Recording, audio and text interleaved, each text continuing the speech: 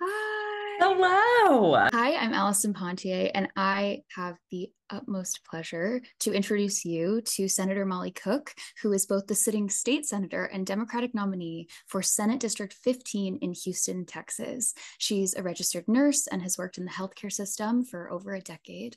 Uh, she's an advocate for reproductive rights, accessible public transportation, and healthcare, amongst many other important causes. And I am a giant fan. Thank you for doing this. Thank you so much, Allison. That was the entire portfolio. Thank you. so, uh, reproductive healthcare has impacted my life so much. It is something that I'm very passionate about. Um, I wanted to ask you um, how do reproductive rights benefit all Texans? Yeah, I mean, in general, um, you know, I'm a healthcare professional. I work with doctors, nurses, everybody, all the all the staff that come together to make a complete healthcare team. And it is sickening, it's twisted, it's frustrating, it's scary that we are not actually able to provide data driven, clinically proven, you know, best practice healthcare in this state. And I myself had a procedural abortion in 2014 when it was still legal. And I'm I'm sad every single day that I'm now lucky that that was even available to me when I wanted it, when I needed it. So, um, you know, I experience the fear in my coworkers of not really knowing what can we say to people, what can we not say to people. Um, we're seeing, you know, people not wanting to do their OB-GYN residencies in this state, which is very scary. Um, people moving out of state to get pregnant, people moving out of state to be able to provide, you know, what their children need, whatever it is. So um, it's it's overwhelming to know that our government is able to actually make choices for us when it comes to um, comes to care that is that is rooted in data and and you know clinical validation basically. So um, it really permeates into every experience of my life right now. Growing up in texas i would have never thought that I would have the opportunity to talk to uh, a, a, sitting state senator who's so open about how reproductive health care has changed their life. And for me, it's like very powerful and very emotional. So I just wanted to thank you for that.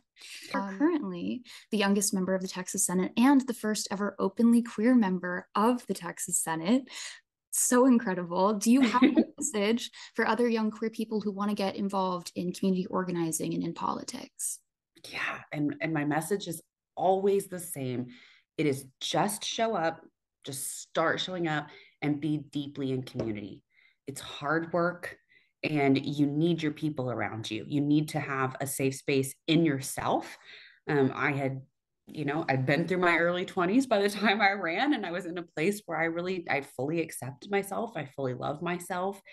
I had come out by that time not that that's a requirement at all but um, had reached peace about my abortion, about identifying as bisexual, about just who I am as a person. And that was really valuable. And by loving myself and then also having an incredible friend group that organizes with me, that I, you know, that I organize with, it really set me up to be successful when I ran. And the reality is, when you run, you can always lose. You can always lose. Even if you've been there for 50 years, you could lose.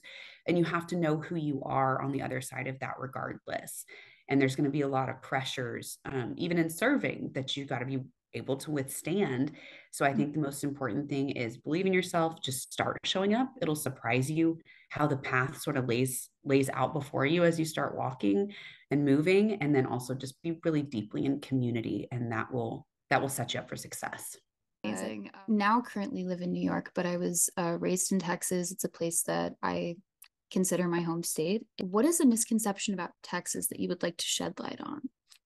Um, I think there's just kind of this idea out there, or I, at least I see it on Twitter, which is certainly not real life. It's it's a piece of real life, um, where people say, "Well, stop voting that way," and it's just really frustrating. Um, sometimes we feel left behind by national funders, or we feel left behind by organizations, and that sort of leave us as a lost cause. And the reality is there's 28 million people here. We're the energy center of, you know, certainly the US in a big way. And um, there's a lot of industries that call that call Texas home, and you can't leave us behind because this will be the birthplace and the laboratory of the kind of harmful policy that spreads out across the nation and you know impacts everything impacts top of ticket bottom of ticket every single policy that'll come out of the federal government as well. And so um, i guess what i need people to understand is that we're fighting too and we also deserve um, you know safe healthcare and the complete spectrum of reproductive healthcare. We also deserve clean air. We also deserve um, to be disaster resilient. And just because the leadership of a state is making certain decisions, that does not mean that the working people and the regular people actually want that. And so um, I just invite people to be empathetic about what Texans are experiencing, especially if we are not the ones voting. for um, for the leadership that's currently in place and uh, to really consider us as as a place to invest and a place to dig in in a national way in an international way because it will have profound consequences that ripple outward. Senator cook i can't thank you enough for your time. Awesome. Thank you so much allison. And your music is so beautiful. Congrats on touring with nikki. So much fun so honored you took time to get political today. So thank Absolutely. you so much as well.